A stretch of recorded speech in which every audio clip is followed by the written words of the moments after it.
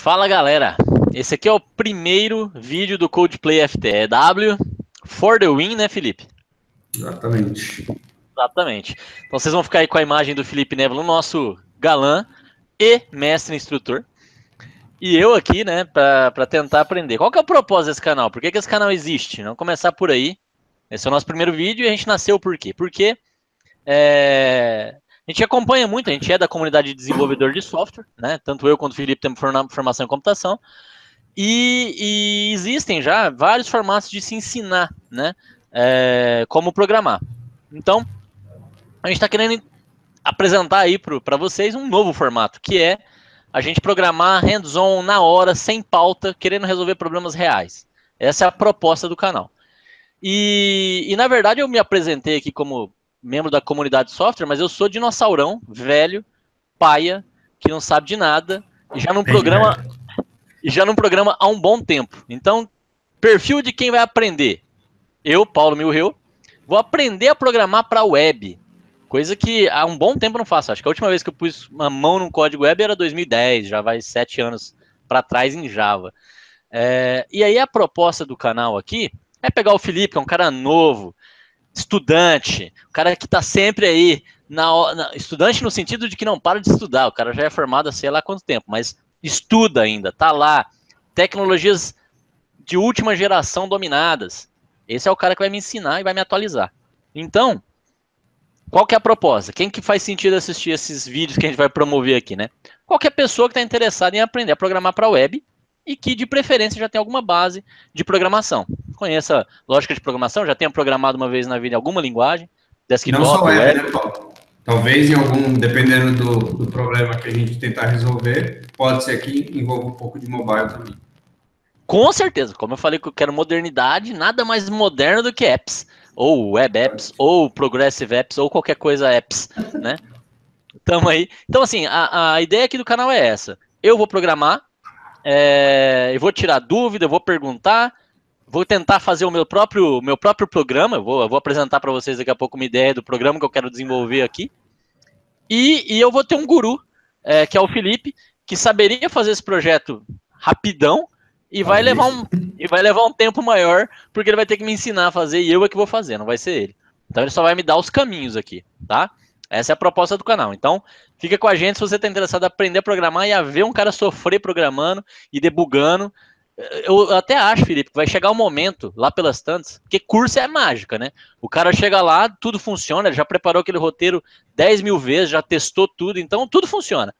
Eu acho que lá pelas tantas vai ter um, um codeplay FTW debug. E que eu vou ficar debugando, falar, caralho, tá dando pau, eu não sei achar e tal, e você vai ficar dando risada. Já testou tal coisa? Já viu isso aqui?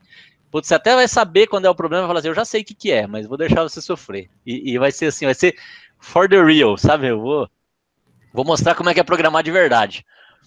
Bom. Vamos ver, vamos ver. Vamos ver. Essa é a proposta. Para a gente estabelecer aqui os parâmetros, então, público-alvo acho que já ficou claro, né? Beleza. É, como é que vai ser a dinâmica da, da vídeos curtos, né?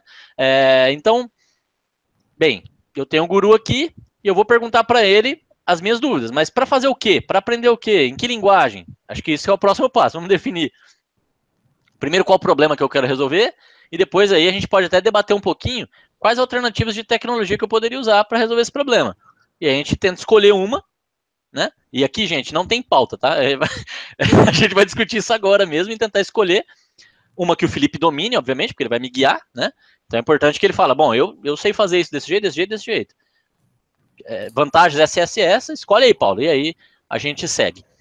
É, então, Felipe, o problema que eu quero resolver é o seguinte: é, imagina a situação em que você chega no Rio de Janeiro e você quer visitar, sei lá, o Pão de Açúcar, o, o, o Cristo e ir pra praia.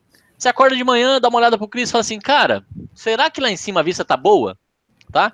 E, e você quer pegar um. Aí, ó, a ideia do app aparecendo. Você pode pegar o seu celular e dar uma olhadinha. Ponto turístico do Rio de Janeiro, Cristo. Como é que tá agora? E as pessoas que estão lá no Cristo agora, que tiverem esse aplicativo instalado, podem postar fotos. E essas fotos só vão valer, essa ideia é meio Snapchat, né? Essa foto só vai valer por uma, duas horas. Então eu vou estar tá vendo como é que tá agora. No, e a, ah, essa foto que foi tirada há 15 minutos. Putz, tá limpo o céu lá em cima, tá legal. Putz, tá nublado, nem vou lá. Dependendo do que eu ver, eu posso me motivar a escolher um caminho ou outro. E essa ideia pode ser aplicada depois, né? Essa ideia de como está agora num determinado lugar, para outras escolhas que eu posso fazer na hora. É, quero sair à noite para comer uma pizza, né? Como é que tá, sei lá, como é que tá o shopping? Tá muito cheio. Como é que tá a fila da balada que eu quero ir? Tá muito cheia. É, né? É, dá foto de dentro do lugar para ver como é que tá, se tem muita gente, se tá legal. Então, essa é a ideia. Deu para entender? Beleza. Você quer um feedback rápido de qualquer coisa, mas no começo talvez valha a pena a gente pensar só em ponto turístico, Pode alguma ser. coisa mais focada para a gente reduzir as possibilidades. Né? Exato. Podemos começar, digamos, na, na linguagem de, de, startup, né? O nosso MVP pode ser ponto turístico numa cidade e, e feedback por foto, por exemplo. É, bata a foto desse lugar e me mostra como é que tá. Como é que Beleza. eu faço isso?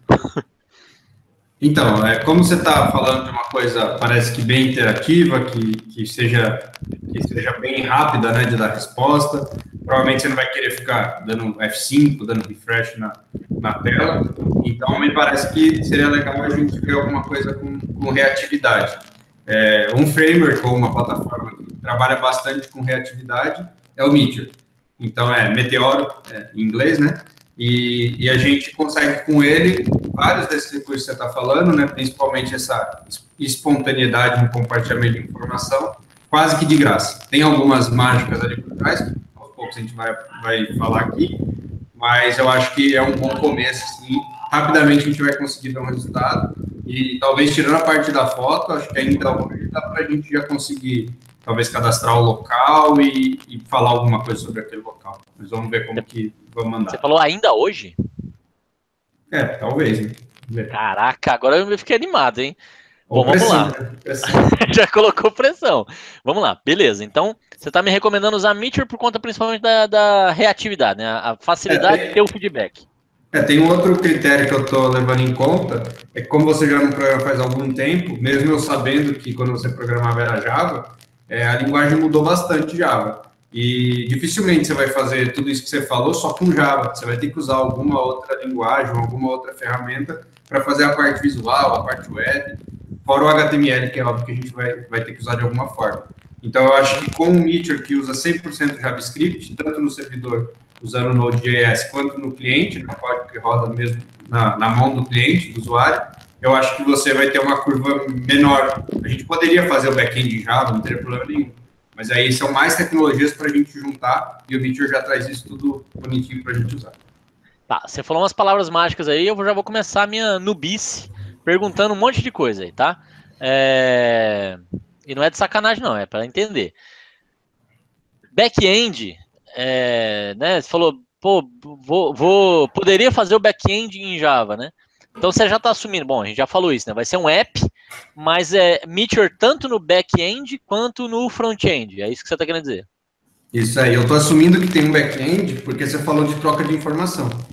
Então, se eu tenho um usuário numa ponta e eu tenho outro usuário em outra ponta, é, essa informação vai ter que passar por algum lugar. Poderia até passar por um lugar transitório, que não ficasse gravado em lugar nenhum, a gente não precisa de armazenamento. Mas você também me falou que vai ficar por algumas horas.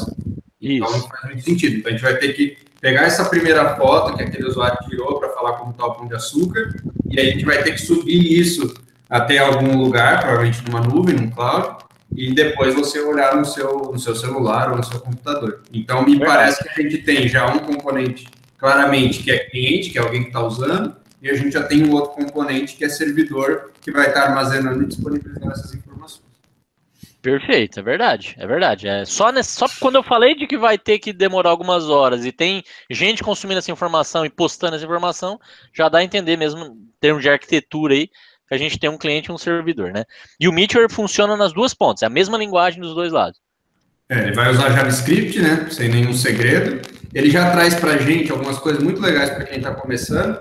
Hoje em dia o JavaScript ele está evoluindo rápido, né? Ele ficou muitos anos parado. Hoje em dia tem a especificação que se chama ECMAScript, que na verdade é o nome da linguagem, mas JavaScript é mais popular, e está saindo versão agora mais rapidamente. A ideia é que todo ano saia uma nova versão. E o Meteor ele já traz algumas configurações da versão que eles recomendam você estar utilizando. Se você fosse fazer em outra linguagem, usando Node puro, com servidor Express, aí eu vou falar algumas coisas aqui, mas não tem problema nos termos, você precisaria configurar isso, configurar o Babel, que é a ferramentinha que deixa isso compatível com o navegador do seu usuário, e teria que configurar. No Meteor você vai usar do mesmo jeito, só que o Meteor, uma das, das coisas dele, que ele prega, é sem configuração. Então a ideia do Meteor é sempre fornecer recursos interessantes que você não precisa configurar, justamente para reduzir a curva de aprendizado no início. Depois, é muito grande a chance de você precisar entender, mas pelo menos no início, você não precisa fazer configuração nenhuma. Então, esse é um dos princípios dessa plataforma que a gente está começando a conversar.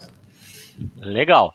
E assim, até para a gente combinar, Fica à vontade para falar além do nível que eu estou perguntando e colocar detalhes e falar até para um, um, uma pessoa mais especialista, não tem nenhum problema.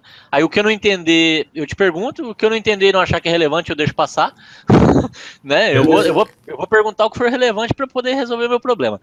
Felipe, aproveitando então, você já quer codificar hoje, né? Para codificar Sim. hoje, o que, que eu preciso ter instalado na minha máquina? Já dá o link aí para eu poder, se tiver fácil, né? Para eu poder ir baixando, porque daí eu vou perguntando enquanto baixa. Então, é, você usa Windows ou Linux? Eu uso Windows. Essa já é uma coisa que a gente pode mudar na sua vida. Então, assim, para você viver melhor, você poderia usar o Windows. Ou, se você quiser viver melhor e ter ainda um estilo de vida de magnata, você poderia comprar um MacBook. Então, mas o Linux resolve bem. Mas o Meteor também, eles fazem muito esforço. Vocês estão vendo aí já a tela, né? Então, Agora eu tô... passei o link do Meteor.com, é bem simples o link. E, enfim, o Meteor ele tem um grande esforço também em conseguir proporcionar para os usuários de Windows uma experiência tão agradável quanto no, no Linux. É, eu não sei, porque eu, eu, uso muito pouco Windows, então eu espero que dê certo, mas só clicar em install ali, é, tá naquele botãozinho é vermelho, ele já vai te dar o... Install now a versão 1.5, beleza. Meteor.com.br install, e aí eu venho aqui em Windows, Download Installer. Exatamente. Beleza. Não faço ideia do que vai acontecer agora. Espero que. Ele vai baixar um exe aqui, rapaz. Para de zoar. Windows é vida. É, Usuários Windows. aqui do Linux é bem mais, é bem mais massa. Você faz um cur e ele já vai baixar tudo sozinho, vai acontecer e acabou.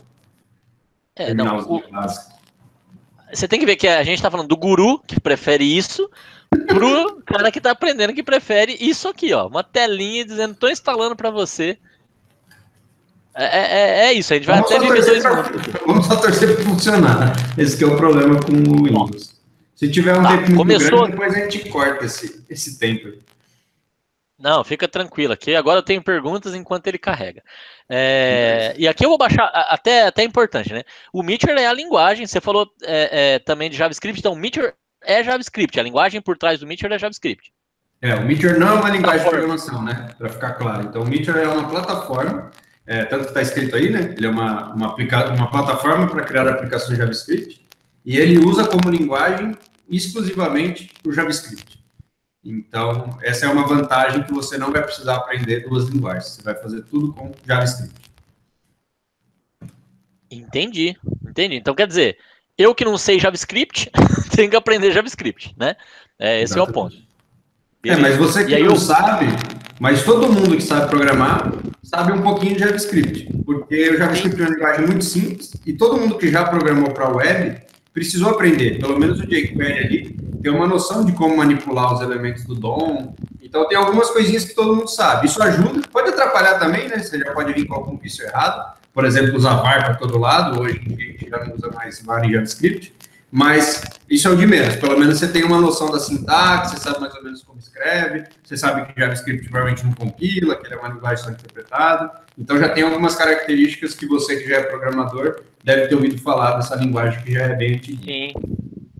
Até já programei em JavaScript, só que é assim, se é, o JavaScript na minha época era associado exclusivamente a front-end, e aí assim, eu fazia pequenas coisas. Pequenas coisas e algumas animações, coisas, coisas muito pontuais, né? Agora você está me falando que eu vou desenvolver o projeto inteiro usando JavaScript. Isso para mim é até um quebra de paradigma, de certa forma, né? Mas legal. É, até que ponto aqui eu, eu vou conseguir? Eu acho que sim, né? Vai ter momentos em que o Felipe vai me passar recomendações, tarefa de casa e tal, e a gente se encontra no próximo vídeo onde eu vou tirar dúvida com vocês e com ele, né?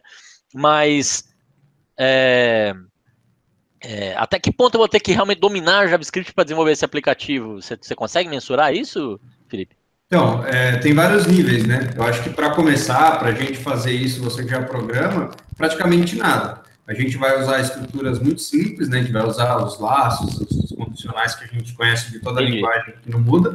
Só que o que a gente vai ter que aprender, na verdade, são principalmente os detalhes do framework que a gente está usando. Então, a princípio, eu pensei da gente começar com o Meteor no seu modo padrão, que hoje em dia talvez nem é o seu modo mais usado, mas o Meteor no modo padrão, ele vem com uma ferramenta já embutida nele de template, que se chama Blaze.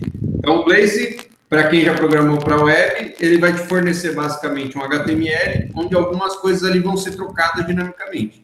Então, usando o Blaze, eu acho que você não vai precisar aprender muito. Se a gente fosse usar React, o Angular, que também são opções de uso junto com o Meteor, e boas opções, eu acho que a gente teria um pouco mais de trabalho. Então, primeiro eu recomendo a gente começar no basicão, é uma ferramenta mais simples, que vai exigir menos estudo, e provavelmente vai ser legal a gente até depois, nas aulas avançadas, aí mais para frente, fazer uma refatoração, pegar esse projeto que ele é Blaze e transformar ele em React. Eu já fiz isso uma vez e o resultado foi, foi bem interessante, foi, foi legal de ver as melhorias que o React traz.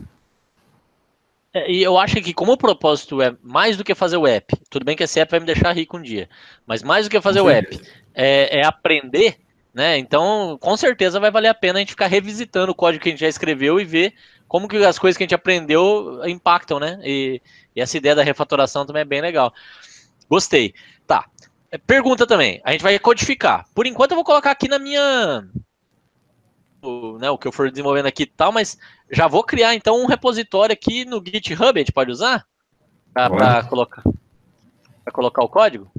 Vamos usar o GitHub, público. Você vai ficar rico, mas pode pôr público aí. Ninguém vai conseguir te copiar. Pode, pode, pode pôr público. Você já, já tem slide? Eu acho. Creio que sim, cara. Cadê o sign aqui? Então, enquanto você faz aí, para quem não conhece o GitHub, é, ele é um, um, local onde a gente consegue armazenar o nosso código e ele utiliza o Git. Então, o Git é a ferramenta de controle de versão que você pode usar com o GitHub, com o Bitbucket, com o seu servidor próprio. Você pode criar, por exemplo, na DigitalOcean por 5 dólares por mês, ou você pode usar ele de graça no GitHub para projetos abertos, ou você pode também usar ele de graça para projetos fechados no Bitbucket. Então, você tem um monte de opção mas ele é muito legal, é para não você não ficar guardando código no seu e-mail, não perder o que você fez. Então, é bem importante usar algum controle de versão. O Git é hoje disparado o melhor controle de versão que a gente tem disponível.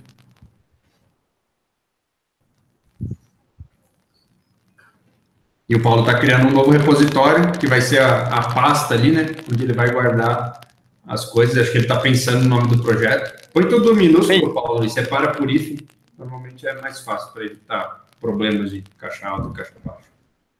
Beleza, então aqui. Saber como está agora. É legal que você pôs o nome em inglês e a descrição em português, né? Gostou? Achei massa. É que você já pode colocar um, muito... um git ignore ali, se você quiser, ali embaixo. Pode colocar, deve ter o de Node aí, ou de JavaScript. Acho que tem de Node. Você pode buscar ali em cima por Node. O que, que é colocar um git ignore? Por então, que, que é bom colocar? É para a gente colocar alguns arquivos que a gente não quer subir para o Git. Por exemplo, quando a gente fizer um, qualquer build com Node.js, a gente vai, vai gerar uma pastinha chamada Node Modules, que ele vai baixar os módulos que outras pessoas criarem e a gente vai usar. E aí, se a gente ficar comitando esses arquivos, eles são grandes, né? Tem alguns módulos que podem ser binários, então vai ter um monte de coisa ali amarrado com a arquitetura da sua máquina. Então, não é uma boa prática. E aí, quando a gente já coloca ali, provavelmente a equipe do GitHub pegou os pontos mais comuns em Node e já criou um arquivinho desse para ignorar as coisas comuns do Node. Agora sim estamos vendo inglês lá.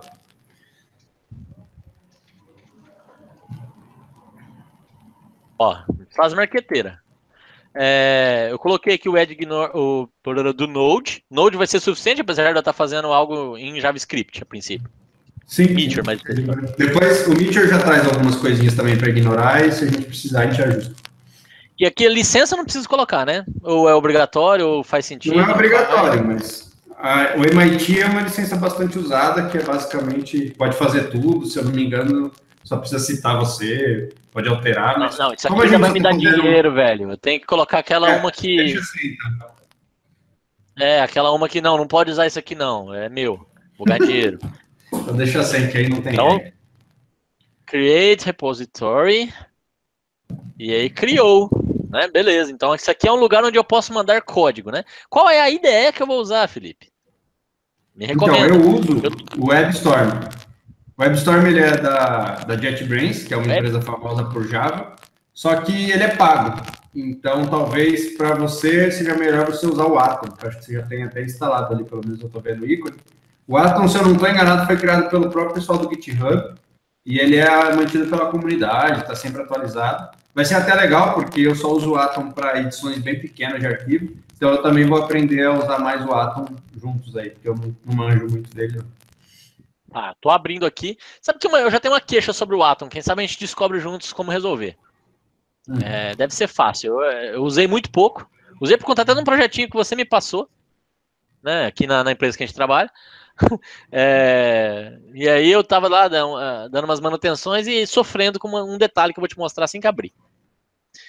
É, que é o seguinte, ele abriu aqui, né? Tá. Ou não, né? Não, abriu, abriu. Percebe que ele está nessa versão básica aqui e, e, é nós, né? Tamo junto aqui nesse código, né? Maluco. Beleza. Eu gostaria que ele abrisse no modo developer. Cadê? Onde é que tá aqui? Open in Dev Mode. Porque é no modo developer. Aqui o projeto de novo. Mas tem que abrir de novo? Eu nem sei o que é esse Dev Mode. O que ele muda? É, é no Dev Mode que a extensão que eu uso, pelo menos para Git, aparece. Quer ver, ó? Uma coisa que vai mudar claramente, aqui embaixo vai aparecer Dev Mode, é onde eu sei que eu estou no Dev Mode. Eu nunca consigo abrir direto aqui, esse vermelhinho aqui, ó, é o Dev Mode. Essa, nessa versão... Não sei que é isso, não. Você nunca usou, né? Ó, o Git Control, por exemplo. Quero abrir aqui e tal. Tá abrindo. Deixa eu ir lá na outra versão que deve estar aberta também. É, talvez você instalou os plugins numa versão de dev, talvez ou alguma coisa do Windows, eu não sei. Como é que ele abriu, ó? É, eu sei lá. A gente vê. Então eu vou usar esse, no você caso, é o Atom. É... Git? É. Sim, eu tenho o Git instalado. É. É... Até nesse projetinho aqui eu, eu tenho usado o Git para fazer né, os, os, os, commits e tal, mas vamos lá, eu sou noob e eu não sei nem do que você está falando, tá? É... Primeiro vamos falar da IDE, né? Então, que você usa o WebStorm, o WebStorm não é. Como é que é o nome dela? É. Empresa JetBrains. Empresa JetBrains, WebStorm é o nome da IDE. A IDE é um ambiente de desenvolvimento integrado, se a gente for usar uh, o acrônimo inteiro, que é um local onde você tem todas as facilidades para trabalhar com código, com projetos maiores que envolvem vários arquivos e que tem uma formatação específica e a IDE está ali para te ajudar com recursos diversos de, de né, desde formatação do código, é, a, a, indentação e tal, como a navegação é um recurso bem usado, né? De você ir pro, de, um, de uma função para outra, de um método para outro, de uma classe para outra. É, a parte de depuração é bem comum também o, a IDE te ajudar com isso. Então, né, para quem está começando. Ter o terminal dentro da IDE. A ideia do desenvolvedor Exato. é que ele saia o menos possível da IDE, também para ter uma questão de foco, né? Ele só fica em uma ferramenta. Integrado. Alternando. Exato. Deixa eu dar uma olhada. Antes de começar, cria uma conta no, no de desenvolvedor Meteor. Precisa criar uma conta de desenvolvedor Meteor? Não é obrigatório, mas se você for publicar um pacote, fazer um deploy no Galaxy, depois talvez a gente converse sobre ele, você vai precisar. Então. Eu acho que eu já até criei, viu? Deixa eu ver aqui. Mas é bem simplesinho. Usuário sim já é. Se ele vai me, me reconhecer. Olha lá! Beleza. Para começar, abra uma janela de comando e digita Meteor. Então vamos tá lá, né? Windows, ele falou que você está usando o Windows 8, precisa reiniciar. Você está usando 8 ou 10? 10. Acho que não é. 10. Mas sim, é o 10, mas eu não sei nem usar também o Windows não, viu? Eu não usar computador, programar computador. O bash do Git, você deve ter, será que você instalou? Digita bash aí. Não, mas calma, velho. Ele falou pra eu fazer um negócio aqui, eu vou fazer um negócio. ai, ai. Ó, ele falou pra eu abrir o comando e digitar Meteor. Então digita. É isso que eu tô fazendo aqui. Digitei Meteor. Você tá vendo minha tela? Tá aparecendo? Oh. Oh. Ah, ele falou que eu não estou num diretório de projetos do Meteor. Para criar um novo diretório de projeto, um novo projeto Meteor, eu devo criar Meteor Create, o nome do projeto. É... é legal, então criar um. Eu vou lá no W, que é a minha unidade de trabalho. Eu vou criar aqui um Meteor. Aí eu vou criar aqui. Podia até ter criado melhor, né? Vou, vou fazer aqui de novo. É, fazer direitinho. Code play for the win. Olha. Ô, oh, louco. É, aí aqui dentro eu vou criar Meteor, porque vai que a gente aprende outras coisas depois, né? Sim. E aqui dentro eu vou criar um, um no now. É isso, né? Ou oh, não, eu não precisava ter feito isso. Porque ele, ele falou para eu fazer Meteor Create no now. É isso, né? Isso. Meteor Create no now. Então aqui eu tô criando meu primeiro projeto Meteor. Exatamente. Ele é já vai criar com, com alguns arquivos, você já vai conseguir até rodar. É muita emoção, é muita emoção. Bom, vou voltar lá. Sou noob total, tô aqui criando um projeto Meteor, beleza. Isso aqui significa simplesmente que eu tô dando, dando início ao meu projeto, né? Mais nada. É, usando o Meteor para servir como base. A gente já falou da IDE, que é onde eu vou efetivamente escrever código, né? Então aqui ele vai criar um monte de arquivo, eu vou abrir esses arquivos dentro da IDE, é isso, né? Exatamente. IDE tem que criar aqui um, um, um, novo project folder, né? Add project folder. Aqui provavelmente eu vou estar então espelhando lá na minha, no meu sistema de arquivos e dizendo aqui para a IDE que é lá que ele está, então para ele abrir, para ele entender e etc. Vamos ver se deixa ele terminar aqui que daí eu abro aqui dentro da IDE. E falando do Git, o Git é só assim, se eu for fazer um trabalho colaborativo, na verdade em geral, né? Porque eu quero guardar versionamento também, né? Então o que, que é o, o, o propósito do Git? Só para repetir. É, é, um, é um gestor de código, né? um gestor de, de, de, versões de documentos, na verdade. Como o código é um documento, é um documento simples, que ele é só texto, né? isso funciona muito bem, se aplica muito bem.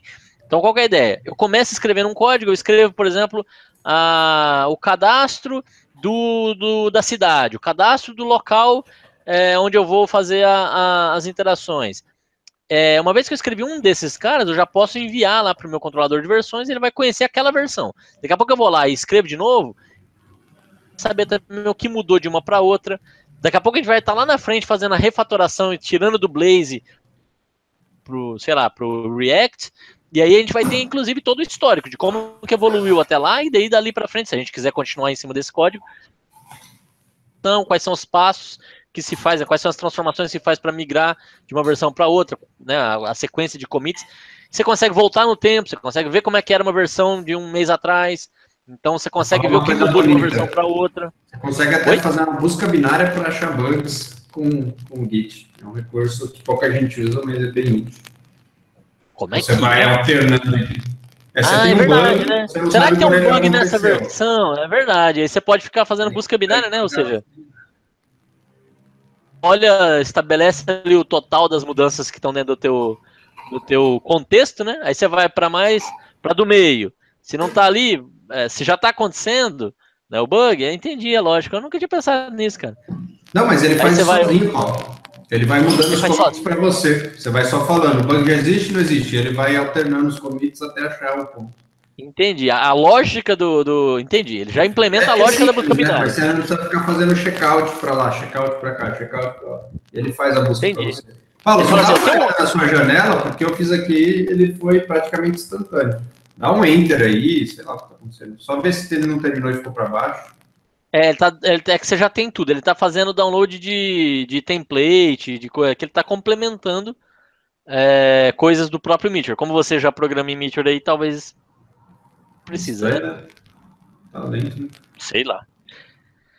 É a vida, né, velho? O cara, o cara vai te entregando aos poucos. É engraçado como mudou isso também, né? Hoje o mundo é tão conectado que você sempre assume que você tem internet, então você vai entregando o mínimo possível. Antigamente você tinha um CD, onde você instalava e colocava tudo, né? É, coisa que você nunca vai usar na vida. Tinha lá pra você instalar. E tava instalado.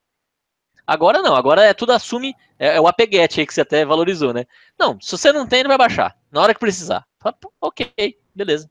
Mas eu acho que é uma coisa estranha aí, viu? Eu acho que ele não tá fazendo é nada. Parece tá fazendo sim, rapaz. Tem que ter fé. Ah, mais um motivo para não usar o Windows, porque o Witcher Create aqui no Linux eu acho que não levou nem um minuto no total. Levem em conta, levem em conta que ele já tem Meteor instalado e atualizado há décadas. Eu estou instalando pela primeira vez. Gente, não é assim. O Windows é bom. Tchau, Bill Gates. Um abraço, manda conta. É... Agora Mas ele está instalando as dependências do NPM, tá? O NPM. Acabou. Já acabou? Foi muito rápido, eu achei. O NPM, para o pessoal entender que é importante, ele é onde os códigos de outras pessoas ficam publicados. Então, por exemplo, eu tenho um pacote que eu vou usar, é, que, sei lá, Hogwarts fez, uma, alguma empresa aí fez para fazer upload de arquivo. Então, eu vou no NPM. E se você for npmjs.com, lá você tem uma série de pacotes que você pode usar. E aí o Mitchell já usa alguns. Então, por isso que apareceu ali que ele estava instalando as dependências. E você pode criar os seus pacotes, a parte comum, que você repete em vários códigos, você pode isolar também em NPM. Mas beleza, está criado aí. Agora é só você rodar Mitchell e ele já vai funcionar. Tá, e, e ele tá criado aí. O que, que ele criou aqui? Ele criou um diretório server, um diretório client, indo naquela linha que você falou de que ele, ele serve nas duas pontas, né? Sim.